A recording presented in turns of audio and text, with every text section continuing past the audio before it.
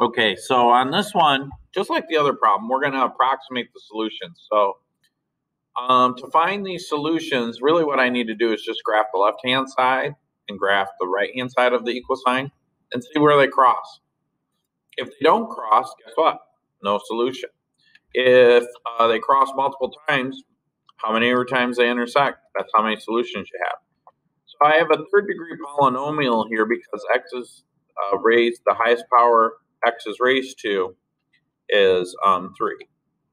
And so that uh, the graph is going to kind of look like uh,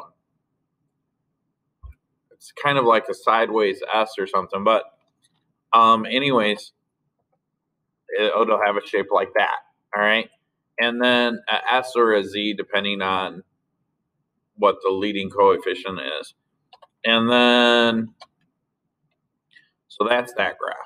Now for the next graph, I'm going to put 1 divided by x minus 1. So that'll have vertical asymptote of positive 1 um, plus 5. So that'll shift that graph up 5 units. So there's two intersections, right?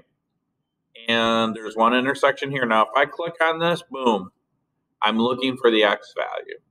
All right, so that's 3.689. And then over here, let me zoom out. So when I go to, so that's the intersection there, and that's the intersection there. That's it. We are done. Pretty simple, right?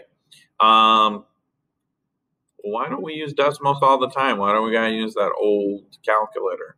Well, the old calculator is what you could take in to the SAT test with you.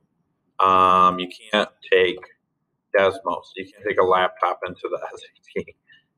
Be nice if you could, but they won't let you. So, anyways, those are the two solutions. Now I'm going to round it. Let me slide this up here. So, how do I write this? I'm going to say um, the two approximate